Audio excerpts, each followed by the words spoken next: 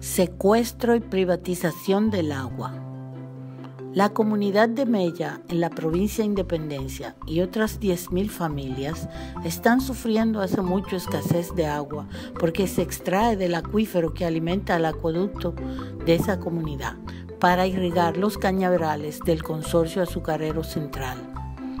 Los comunitarios interpusieron un recurso de amparo preventivo entre el Tribunal Superior Administrativo tenían causa en febrero y fue reenviada para este mes. Esperamos que no les den más largas porque la vida de varias comunidades depende de ello.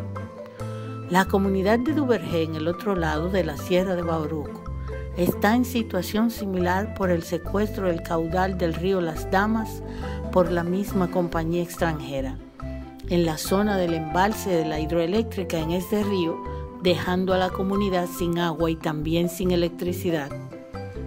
El río Masacre está en la misma situación, seco a la altura de Loma de Cabrera, también por secuestro del caudal para irrigar tierras privadas. Casos similares de secuestro de agua por cafetaleros ya denunciamos en la zona de Matadero, provincia Peravia, y en Estebanía de Asua, por aguacateros. También Arroyo Parra de San José de Ocoa hay conflicto con aguacateros que secuestran el caudal y afectan al acueducto.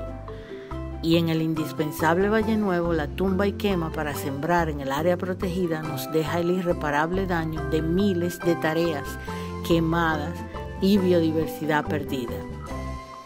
En Santiago Rodríguez denuncian la tumba, quema y extracción de pinos en varios lugares en el mismo talud del río Mao, que alimenta la presa de Monción. También hay denuncias de tumba y quema en Jacagua y el río Tireo de Constanza también está seco.